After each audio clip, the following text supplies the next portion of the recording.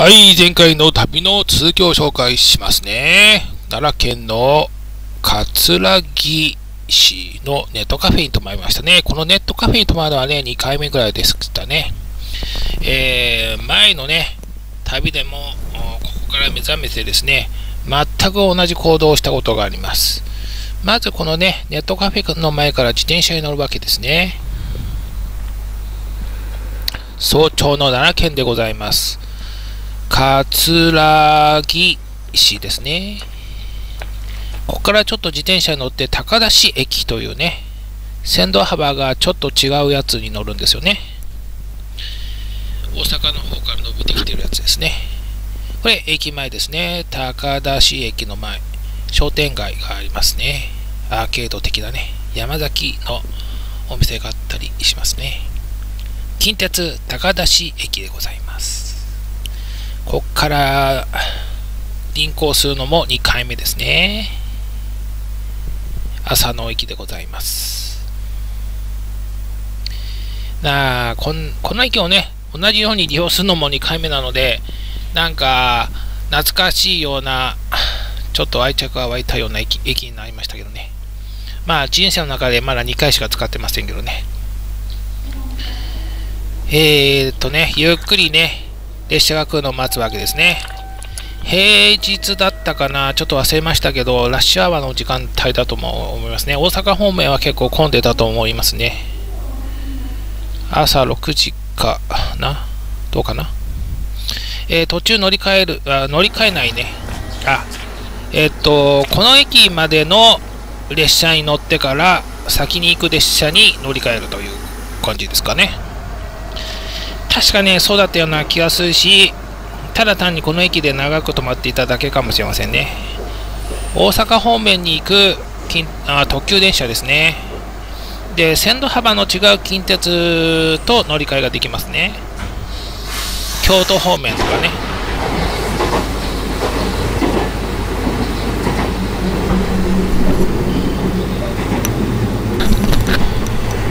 そんなこんなでね、鉄に揺られながら吉野方面に向かっているわけですね、えー、同じ路線はね3回ぐらい乗ったことあるかな。吉野の方から乗って東京の方に帰ったこともあるし、えー、前回同じネットカフェに泊まった時と同じように乗ってる時がありますね。降りる駅がちょっと若干違う。ここはねただ通り過ぎるだけの飛鳥村ね。高取町前回の旅でねここはね自転車でも通ったところ。五摂市っていうとこ通ってそしてさらに近鉄に乗って行きますね。向こうからは、えー、JR の和歌山の方に行く路線ね。それとちょっと合流して同じ駅に止まって分かれていくみたいな。合成市ですね。山に囲まれてますね。でも奈良県なのでね歴史深い大和の国のような雰囲気をね感じつつ旅のロマンを感じておりましたね。吉野口っていう名前の駅だったかな。ちょっと忘れちゃいましたけど。ね向こうの方にはなんか鉱山鉱石を取ったような山が見え一瞬見えたようなただの岩山かもしれませんけどね。越部越部という駅を利用したのは初めてですね。越部の近くからですね乗りたいバスが出てるんですよね。越部越部駅。近鉄から降りて越部駅。プラットフォームの下に川が流れておりますねえー、バス停まで歩きましたね。駅の近くのバス停も止まったんですけど、R169 悠々バスっていうのに乗りたかったんですよね。で、なんかね、本当にこのそのバス停に行くのが分からなくて不安だったんで、終点のところがね、ちょっと離れていたんですけど、終点まで移動してですね、終点からバスに乗ることにしたんですね。結構ね、長い距離走るバスなんですね。大淀バスセンターなんですよ。大淀バスセンター。まあ、ちょっとね、建物がたくさんあるようなところにあるバス停ですね。えー、バスに乗り込んで進んでいくとさっきの駅の前も通っていきますね。いや本数が少ないバスなんで、間違えたところにいるとですね、乗れないわけで不安だったんです。えー、吉野川っていうんでしたっけね、なんか吉野川っていうとね、四国ね、徳山とか、あ、徳島とかね、思い出すんで、とにかく吉野川っていつも怖いなんですけど、まあ、川を見ながらですね、えーと、以前ね、えーと、ゴールデンウィークあたりに、この年じゃない、前の年かな、令和っていうのが命名されたような時期ぐらいまあ平成の一番最後の方のゴールデンウィークで来ていますけどねこの辺はね。この駅も利用したことありますね。自転車で今の駅まで行って東京に帰ったことがあります。えっ、ー、と何ていう駅だったかちょっと今パッと思い出せませんけどね。えー、この辺はね多分ねもしかしたら自転車で通ったことがあると思うかもしれません。やがてね川上村ダムが見えてきましたねダムが見えてきましたね。山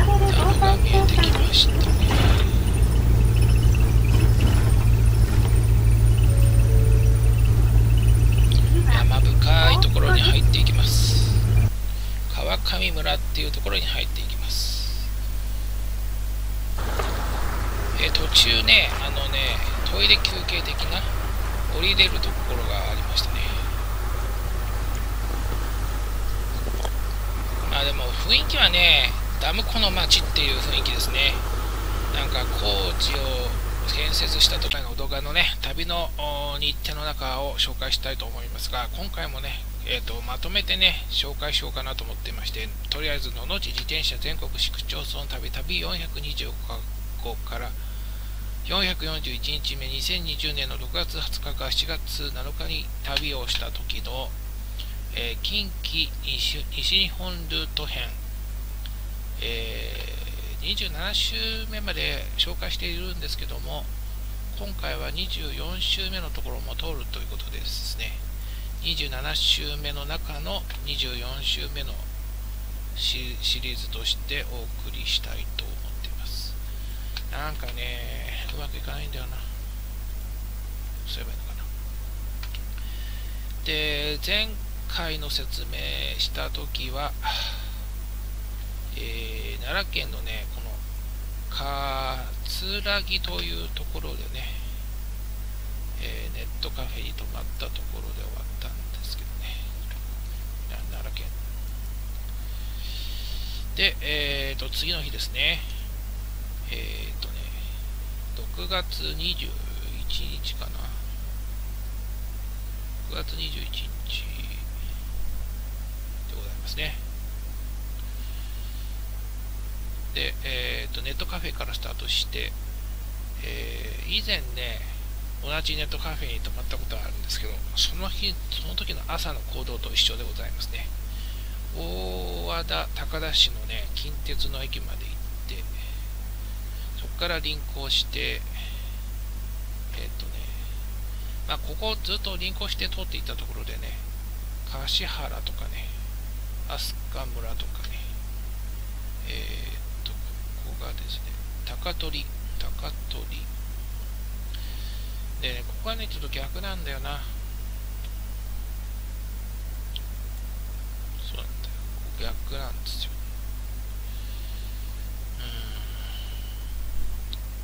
うん。あ今はここのまま紹介しますね。えっ、ー、と、五瀬に、五瀬を通ってから多分ね、ここはね、通ってなかったと思うんだよな。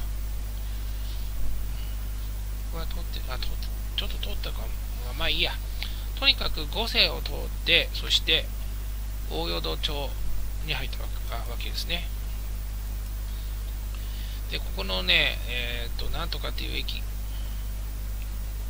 あの動画の中では紹介しておりますね。その駅から、えっ、ー、と、バスに乗るんですけども、バス停がね、ちょっといまいちわからなくて、バスの終点がちょっと歩いたところまではでバスの終点から乗るという感じでねバスに乗ったわけですね。でバスに乗ったまんま以前自転車旅がしたところ吉野町を通り抜けてそして川上村も通って上北山村っていうところがあってその一番最後のバス停で降りましたね。で自転車に乗って下山北村を通ってで和歌山県の飛び地ね。飛び地のところ。そこを通ってそしてまた三重県ね。三重県の熊野市。熊野市に入ってで熊野市からね臨行するんですよね、えー、本線かな。大汗のね一番最初の駅まで行ってでちょっとだけ自転車乗りましたね。そしてまた同じ駅から引き返していて熊野市を通り抜けて三浜っていうところを通り過ぎて臨行したままね。ひよひひや紀宝紀宝町を通って、えー、夕暮れ時にね新宮のね駅に着きますね。そして止まるという。この日程の中をねちょっと何分か通過して紹介しようかなと思っておりますね。まあ最初のねここら辺川北村あたりまでは、えー、以前は来ているんですけどねちょっと言いにくいですけど。後の場所は後の場所は、えー、初めて今回の旅で来る場所ですね。はい。まあどこが何周目っていうのも一応あるんですけどね。省略しましょうかね。えーと、野々市カウンター。これまで旅した日数は441日ね。自転車旅としてね。えー、402、えー今えー、そうですね。外国で自転車旅をやったのは2カ国韓国と台湾でございます、えー、これまで旅した都道府県の数自転車旅でね。44カ所。1326カ所の市区町村旅披露しております。今回はまず奈良県の旅から始まりましたね。奈良県。奈良県で今回の日程の中で初めて行った場所。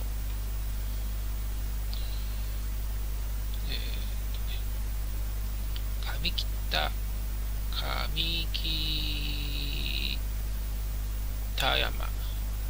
上北山。下北山。初めてですね。で全部で39箇所行きますね。して三重県に入っていきました。三重県。三重県ですね。三重県内で今回の日程の中で初めて行ったのは桑野尾鷲。てで試合通り過ぎただけなんですけど美浜紀宝。全部で29箇所。まあ。はあ多分これ全部でね三重県は旅してると思いますけどねそしてそのまま和歌山県に入っていきました。和歌山県。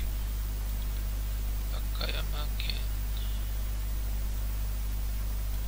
和歌山県内、今回の日程の中で初めて行ったのは、えー、っとですね、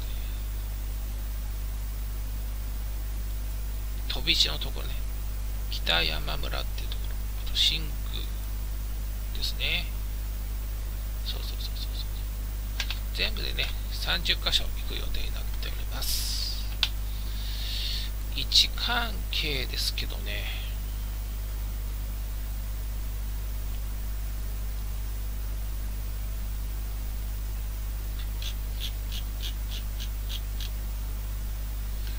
えー、東京都世田谷区をスタートしてぐるぐるぐるぐる自転車旅を続けておりますね、えー、小笠原なんかもね番号順的につながっております。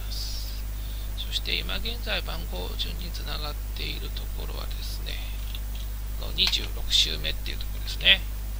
えー、と三重県奈良県そして京都、大阪、兵庫と続いて、このね、新新あ新温泉。新温泉町というところがあってそこまで番号が続いています。この後秋田県の方は番号が続いていない。そんな中今回の旅の日程の中なんですけどね。えー、っと奈良県の葛城っていうところ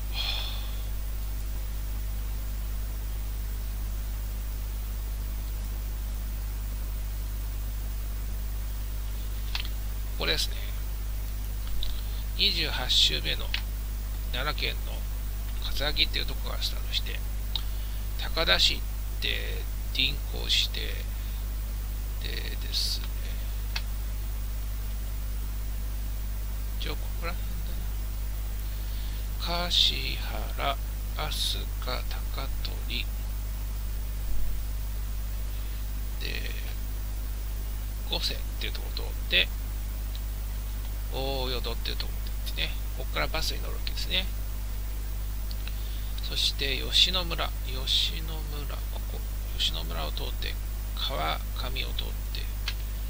そして上山上北山南北山通ってでえっ、とですね。それで和歌山県の飛び地のね北山村っていうところ入っていってで、えー、三重県の熊野に入ってそしてちょっと輪行してですね尾鷲っていうところに行ってそしてまた引き返して熊野を通ってで三浜紀宝っていうのを通って輪行しながらね。そしてこの新宮っていうところで止まったということですね。